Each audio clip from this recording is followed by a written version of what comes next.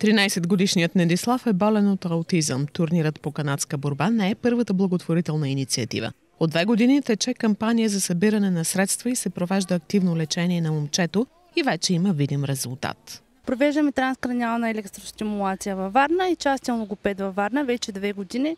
В момента продължаваме с тази стимулация и с набирането на средства, защото борбата е доста дълга, защото в момента той почти е влязъл от състоянието си проговаря.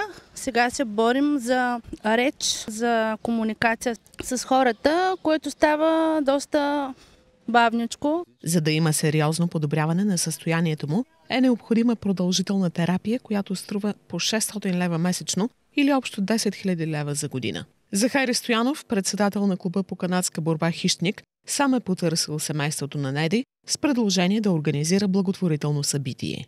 Трябва да се правят добрини. Аз познавам родителите му на детето. Хората се борят в една нелека битка. А, значи живота им е... Не знам, аз, аз също съм в подобно състояние, така че а, мога да кажа, че живота им не е лек. Борят се всеки ден хората и добре е да има повече хора, които да им подават ръка.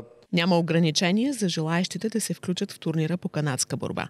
Могат да участват мъже и жени. Нека подкрепим тази добра кауза, призова Стоянов, който е вице-европейски и вице-световен шампион в категория хора с увреждания горни крайници и е част от националния отбор на България. Благотворителният турнир по канадска борба заедно за Неди ще се проведе на 14 юли от 11 часа в бар Кадифай.